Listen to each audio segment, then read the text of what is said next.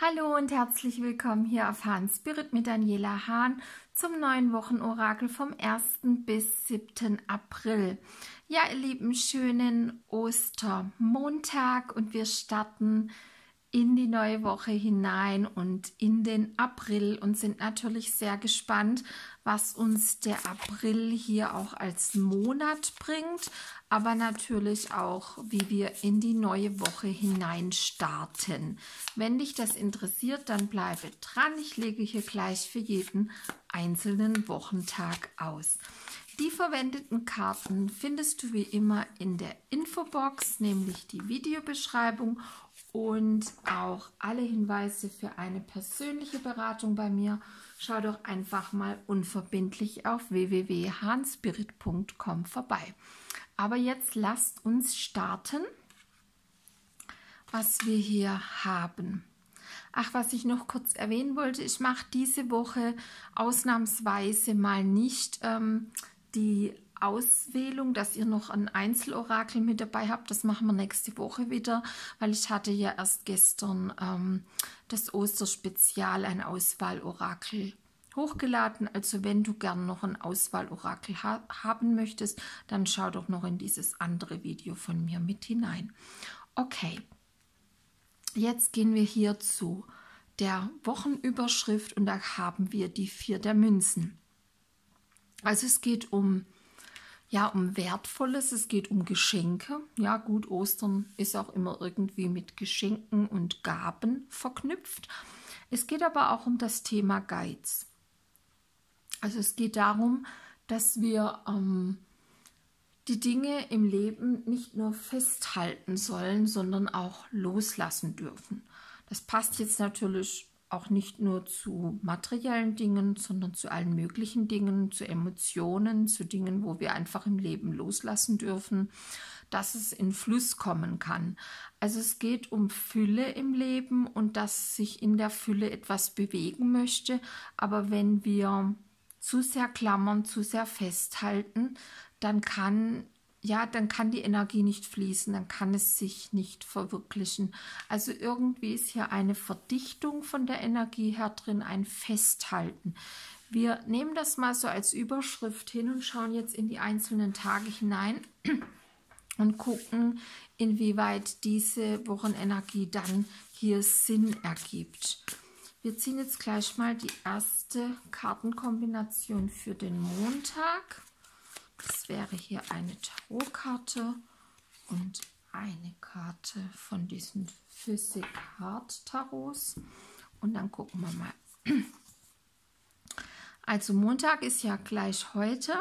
Das wäre einmal hier sechs der Schwerter. Es geht darum, ja, auch hier geht es um dieses Nicht-Festhalten. Alles ist im Fluss. Das ist ja die Karte, ich nenne sie immer hin zu neuen Ufern. Also da ist immer eine Bewegung drin, die sagt, ähm, es muss nach vorne gehen. Wenn wir stehen bleiben, gibt es keinen Fortschritt. Und irgendwie möchte sich heute etwas bewegen, aber vielleicht ist man noch nicht bereit dazu, irgendetwas ja, in, in, in Bewegung kommen zu lassen, ähm, dass man nicht möchte, dass etwas in Bewegung ist, dass man vielleicht noch zu sehr bemüht ist, irgendetwas festhalten zu wollen. Also hier ist diese Energieverdichtung, ich lege das mal, ich muss hier gerade mal gucken, wie ich es am besten mache. diese Energieverdichtung, die ist hier heute am Montag auch zu spüren. Das kann sich im Kleinen zeigen, dass der eine sagt, wir fahren nach Dortmund und der andere will nach Düsseldorf, zum Beispiel. Und dann sagt man sich, was streitet man sich drum? Lass doch einfach los und lass es fließen und wir gucken mal, wo es uns dann hinführt. Also es ist nur ein Beispiel, ähm, wie das gemeint sein kann. Einfach, dass man die Dinge fließen lässt und dabei kann was Überraschendes rauskommen. Also diese Karte sagt, die Energien werden neu zusammengesetzt. Im Kollektiv wird etwas neu aufgebaut, neu zusammengesetzt. Es findet eine Neukonstruierung in der Matrix. Das sind wie so kleine Matrixgitter drauf. Also es ist ähm, fürs Kollektiv heute eine sehr berührende Energie, was hier passiert. Und vielleicht kriegt man auch plötzlich Lust und sagt, ich muss hier raus oder ich muss hier weg oder ich muss irgendwas anders machen als sonst. Irgendwie ähm, bin ich heute in einer anderen ähm, Bewegung drin. Also irgendwie läuft heute vielleicht der Tag etwas in einem anderen Rhythmus ab und man wundert sich vielleicht, ähm, warum das so ist. Einfach nicht drüber nachdenken, sondern geschehen lassen. Das ist hier so ein bisschen das Motto. Ich muss hier ein bisschen umräumen, weil ich habe irgendwie den Ausschnitt sehr eng geplant heute. Gucken wir in den Dienstag rein. Der Dienstag kommt einmal hier mit der 3 der Schwerter. Das ist, kann ein bisschen ein stressiger Tag sein. Es kann ein Tag sein, der einen sehr berührt, der einem ans Herz geht der einen vielleicht sogar zu Tränen rührt. Das muss nicht immer negativ sein, aber es ist ein emotionaler Tag, der stark in die Emotionen hineingeht. Ähm, wir haben hier auch äh, Zusammenkunft, also es geht um Zwischenmenschliches, es geht um Beziehungen zwischen den Menschen. Das bedeutet natürlich fürs Kollektiv ist ein bisschen Herzschmerz angesagt. Es kann auch immer mal der Liebeskummertag schlechthin sein oder wo man in Erinnerungen schwelgt, wo man sich an irgendwas erinnert, was einen auf jeden Fall berührt. Ne? Das muss jetzt nicht immer der große Liebeskummer sein, sonst wäre ja das ganze Kollektiv jetzt hier unter Liebeskummer, aber es hat schon etwas von Schwermut. Und es geht darum, ähm, dass wir liebevoll miteinander umgehen. Das ist hier so das Thema des Tages fürs Kollektiv. Liebevoller, wertschätzender Umgang. Das passt hier auch wieder zur Vier der Münzen, wo es ja auch um Wertschätzung geht geht, wie gehe ich mit anderen um. Man kann manche Dinge nicht festhalten. Also Dinge, die nicht da bleiben wollen, ähm, soll man nicht mit Gewalt festhalten. Das wäre auch vier der Münzen, die ja immer wieder versucht, mit Gewalt irgendetwas festzuhalten. Aber das funktioniert nicht. Man wird krank davon. Also man fühlt sich schlecht dabei. Dann haben wir am Mittwoch das Thema drin, ach, der Schwerter, da geht es um Abgrenzung. Wie ziehe ich meine eigenen Grenzen? Es kann auch sein, dass der ein oder andere sich ausgegrenzt vom Leben fühlt, von der Gemeinschaft fühlt, ausgestoßen, nicht beachtet.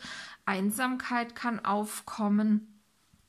Und hier sagt die geistige Welt, wenn du dich von der Welt ausgestoßen fühlst oder von deinen Mitmenschen zu wenig beachtet, zu wenig wertgeschätzt, zu wenig angenommen, das kann ja in der Familie vorkommen, wo auch immer.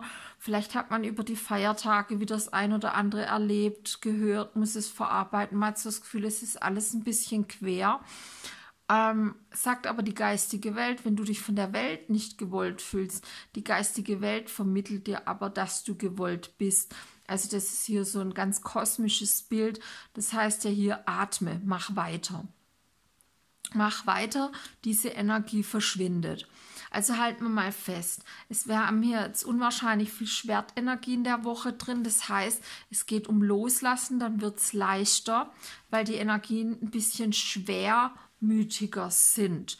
Die geistige Welt ist uns ganz nah es ist ein Gefühl von Loslassen, Weitergehen. Es kann wehtun, es kann sein, dass man, äh, dass die Grenzen sich innerlich verschieben, dass man manchmal nicht so richtig weiß, wie man agieren sollte.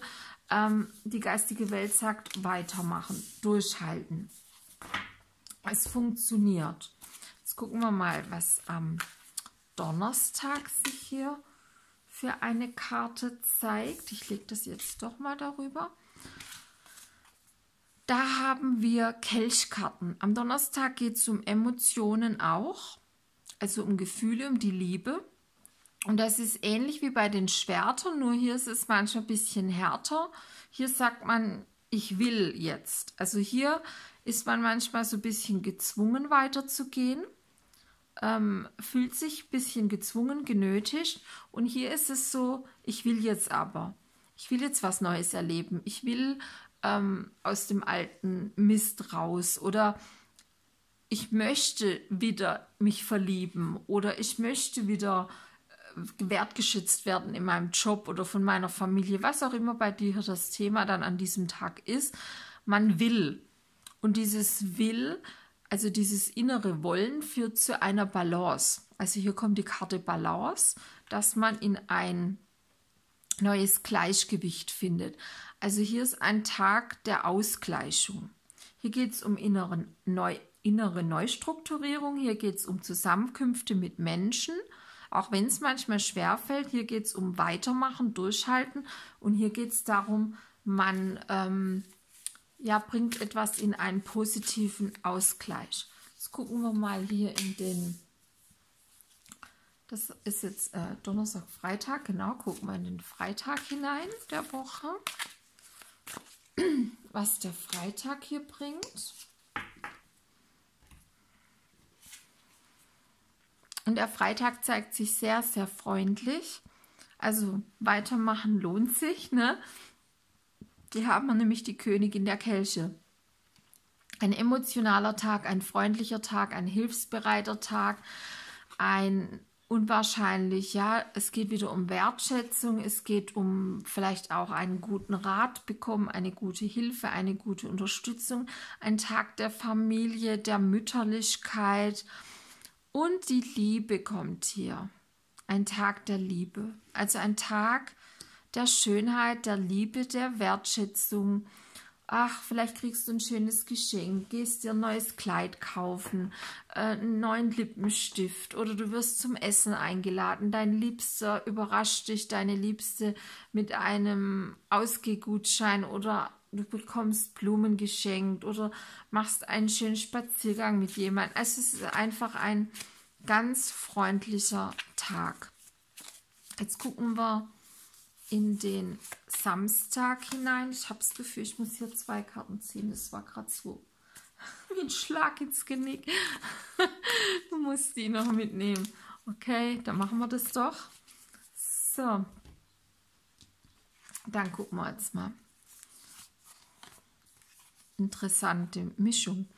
Also zuerst habe ich, das habe ich gesehen, dass diese Karte nachkam.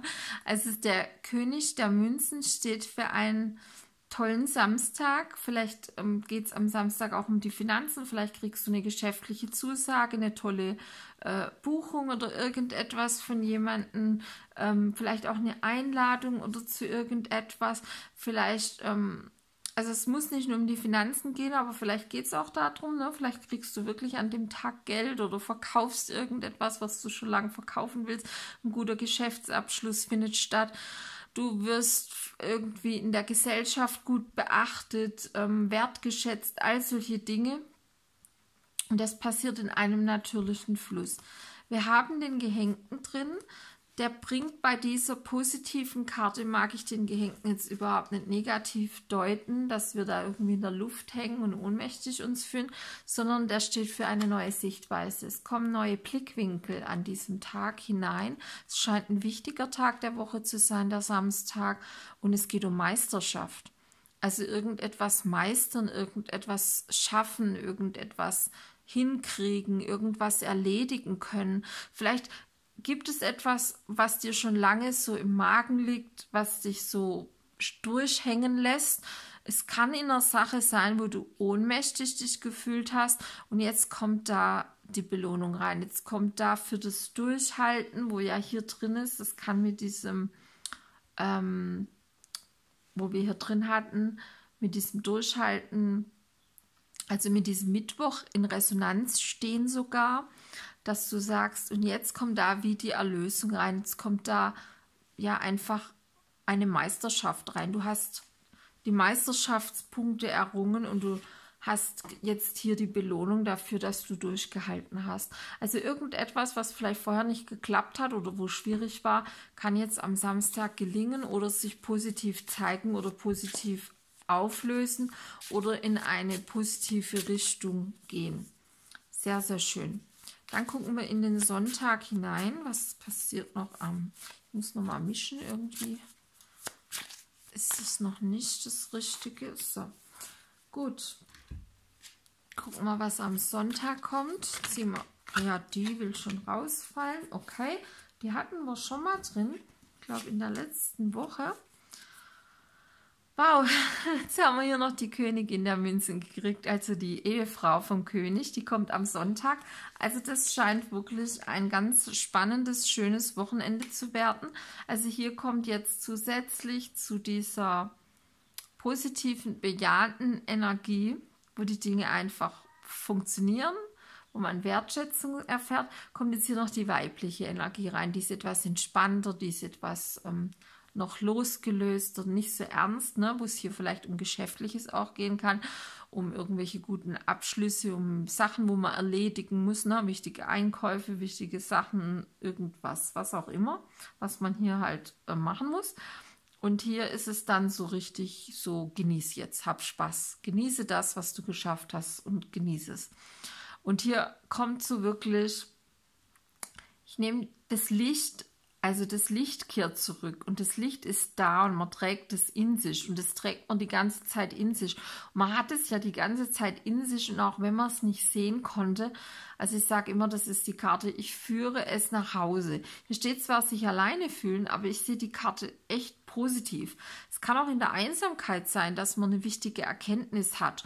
Und darum ist ja diese Karte am Montag, die ist ja auch immer so ein bisschen Ne, vielleicht ist man beim größten Familienfest eingeladen und trotzdem fühlt man sich so ein bisschen für sich stehend.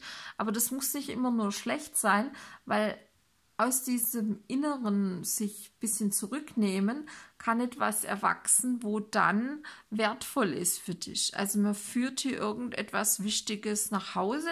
Es kann auch ähm, ein Tag sein, wo man sich einfach um sich selber kümmert oder nur um die Familie kümmert, wo man mal alles außen vor lässt und in den eigenen vier Wänden bleibt. Das ist hier so das Thema. Ja, ihr Lieben, das war es jetzt schon zur Wochenbotschaft. Und ich wünsche euch noch einen tollen Ostermontag. Bis ganz bald. Alles Liebe, eure Dani. Tschüss.